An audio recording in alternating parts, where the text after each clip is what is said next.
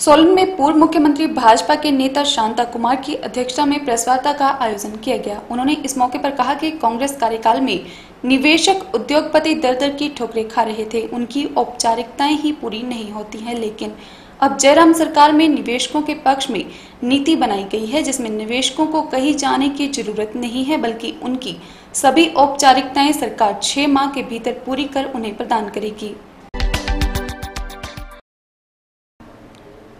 पूर्व मुख्यमंत्री भाजपा के नेता शांता कुमार की अध्यक्षता में प्रेस वार्ता का आयोजन किया गया। उन्होंने इस मौके पर कहा कि कांग्रेस कार्यकाल में निवेशक उद्योगपति दर दर की ठोकरें खा रहे थे। उनकी औपचारिकताएँ ही पूरी नहीं होती, लेकिन जब जयराम सरकार में निवेशकों के पक्ष में नीति बनाई गई है, जिसमें निवेशकों को कहीं भी जाने की ज़रूरत नहीं है, बल्कि उनकी सभी औपचारिकताएँ सरकार छह माह के भीतर पूरी कर उन्हें प्रदान करेगी, जिससे उन्हें उम्मीदें हैं कि जल्द ही हिमाचल में निवेशकों की संख्या बढ़ेगी।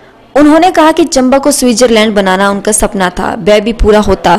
अब उन्हें दिखाई दे रहा है। उन्होंने कहा कि पहले हिमाचल की राजनीति में सहयोग की परंपरा थी। पक्ष विपक्ष प्रदेश को विकास की चिंता करते थे, लेकिन अब केवल विरोध के लिए विरोध की राजनीति की जा रही है। उन्होंने कहा कि पहले मूल्यों पर आधारित राजनीति होती थी, लेकिन अब वह सब बातें गौण हो चुकी हैं। उन्होंने कहा कि अब वह राजनीति से संन्यास ले चुके हैं और राजनीति में केवल गेस्ट आर्टिस्ट की भूमिका निभा रहा हूँ। पूर्व मुख्यमंत्री शांता कुमार ने कहा कि बेशक देश में कांग्रेस को 18 प्रदेशों में हराकर भाजपा ने ऐतिहासिक जीत हासिल की है, लेकिन इस वजह से लोकतंत्र कमज़ोर हुआ है। विपक्ष विपक्ष की भूमिका नहीं निभा रहा है। उन्होंने कहा कि कांग्रेस की हार ने कांग्रेस को एक सुनहरी मौका दिया था कि कांग्रेस परिवार की गुलामी से बाहर निकल सकती थी। और करण सिंह और प्रवण मुखर्जी जैसे नेताओं का मार्गदर्शन उन्हें मिल सकता था, लेकिन ये मौका भी कांग्रेस चूक गई भ्रष्टाचार पर पूछे सवाल पर उन्होंने कहा कि देश में भ्रष्टाचार को खत्म करने का प्रयास किया जा रहा है, लेकिन इसकी जड़ें बहुत नीचे तक फैल चुकी हैं, जिन्हें जनता के सहयोग के बिना नहीं उकाड़ा जा सकता। उन्होंने अवैध निर्माणों को लेकर जिन अधिकारियों के कार्यकाल के दौरान अवैध निर्माण हिमाचल में हुए हैं, उनके खिलाफ प्रदेश सरकार को सख्त कार्रवाई अमल में लाई जानी चाहिए। इस चुनाव में हम तो जीते, बहुत बड़ी ऐतिहासिक जीत हमारी हुई। लेकिन लोकतंत्र थोड़ा कमज़ोर हो। गया एकमात्र ऑल इंडिया पार्टी कांग्रेस 18 प्रदेशों में साफ़ हो गई। और मुझे लगता है इतिहास ने बहुत बड़ा मौका दिया था कांग्रेस को उभरने का। वो परिवार से बाहर निकलती तो कांग्रेस का भविष्य था। लेकिन दुर्भाग्य से इस परीक्षा में भी वो सफल होती दिखाई नहीं दे रही।